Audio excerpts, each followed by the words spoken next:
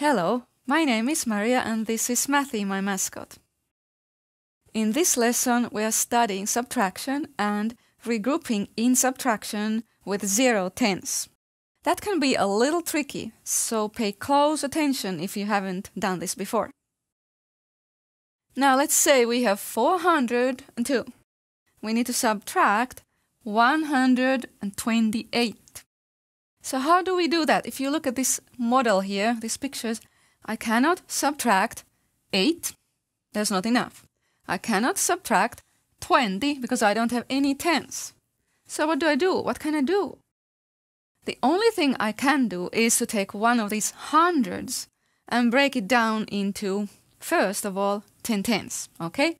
So this 100 needs to be broken down, so to speak, into 10 tens.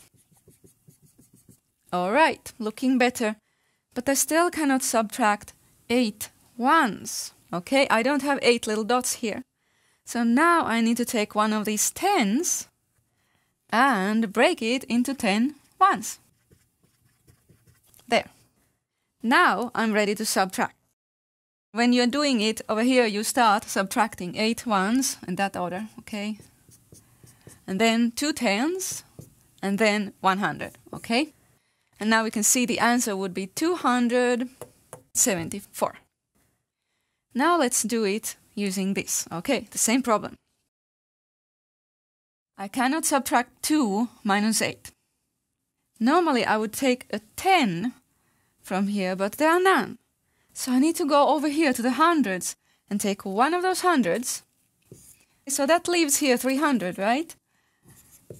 And that 100 moves here to the tens column. And then I take one ten from it, leaving 90 here, and move the 10 here, right? And the 10 and 2 together make 12.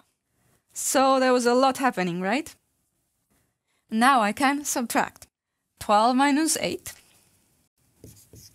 90 minus 20, and 300 minus 100.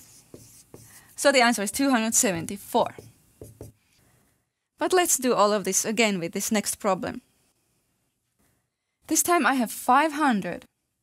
I need to subtract 390 and 4. There are no tens, no ones. So I will take a 100 and break it into 10 tens. Let me also show you how we do it over here. I take a 100 Okay, leaving 400. And then this 100, it is 10 tens. It goes into the tens column. Then the next step is I take one of the tens and break it down into 10 ones. And what happens here is I take a 10, so it leaves 90 here and then 10 here. This time I did not have any ones to begin with, so I just have now those 10 that I got from breaking down the 10. Now, ready to subtract. 10 minus 4 would be 6. 90 minus 90 would be 0.